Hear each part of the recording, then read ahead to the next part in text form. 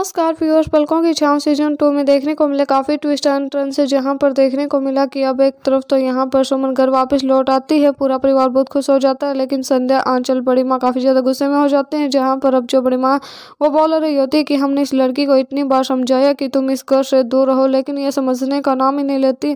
हमने इसे बताया था कि इस घर में आने की कोई ज़रूरत नहीं है।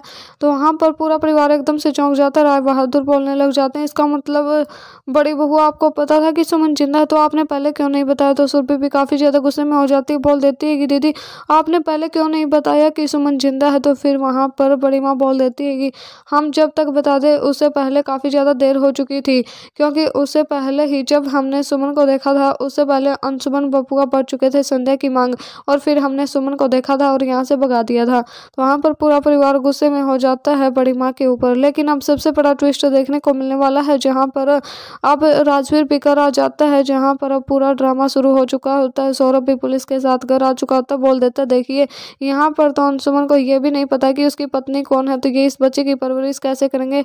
मैं तो कहता हूँ कि आप इस बच्चे की कस्टडी मुझे दे ही दीजिए। तो वहाँ पर पुलिस और जो औरत होती है, वो सौरभ को सपोर्ट करने लग जाती है। तो सुमन सुनाती, बहुत बड़ा फैसला। बोल देती है कि, हम इस घर की बहू नहीं है। हम अंशुमन जी की पत्नी नहीं है। हम यहाँ पर सिर्फ़ इस बच्चे के केयर टेकर बनकर आए हैं और हमें यहाँ पर भेजा गया कोर्ट की तरफ़ से आए हैं। हमें इस बात का पता लगाना है कि क्या ये जो परिवार है, इस बच्ची को संभालने के लायक है या फिर नहीं। तो वहाँ पर अब सुमन उठाती है बहुत बड़ा कदम, जहाँ पर अब राजवीर भी उठाने वाला है एक बहुत बड़ा कदम, जहाँ पर वो सुमन को उसकी ज़िंदगी में आगे बढ़ने के लिए हर वक्त उसे सपोर्ट करेगा और हर वक्त उसका हौसला बढ़ाएगा, हर वक्त देगा सुमन का साथ। जबकि यहाँ पर राजवीर और सुमन कभी भी करीब आएँगे तो अनसुमन को लगेगा बहुत बड़ा झटका, उसे होगी सुमन से काफ़ी ज़्यादा नफरत होने लग जाती है, उसे गुस्सा होने लग जाता है, गुस्सा आने लग जाता है, बोलने लग जाता है कि सुन, तुम मुझे धोखा कैसे दे सकती हो? तुम इस राजवीर के पास कैसे जा सकती हो? तो अब देखना, काफ़ी दिलचस्प होने वाला है कि आखिर कैसे होंगे सुमन और अनसुमन एक।